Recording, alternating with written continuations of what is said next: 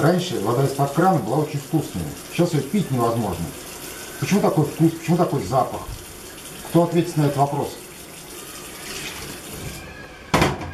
Ну, знаю, тут не столько времена года, сколько состояние воды э, в источнике, то есть в Волге.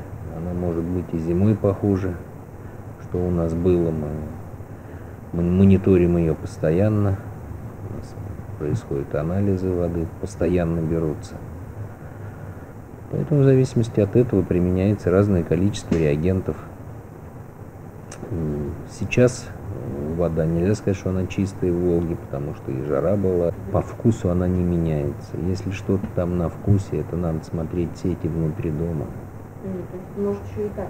Конечно, идет, может быть, вторичное загрязнение, если где-то это в сетях внутри домовых. Ну, износ-то он в сети очень высокий, пон- это понятно, и мы делаем все для того, чтобы их менять. Жидкого хлора, как был раньше, сейчас нет. У нас сейчас в установке работает аквахлор э, по обеззараживанию воды.